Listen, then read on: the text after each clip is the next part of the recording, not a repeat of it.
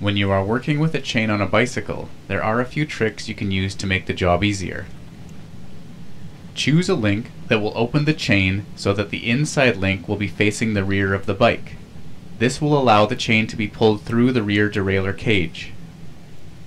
The reason this works is because the inside link does not carry the pin after it has been separated. The outside link will be too wide to fit through the derailleur cage because it will have the pin sticking out of its side. You will also notice that I am pushing the link from the other side of the chain. This is done so that it will be easier to reinstall the link again since you will be able to work on the side of the chain that faces you. Once the link pin has been pushed through to the other side, the chain can be opened up and removed from the bike.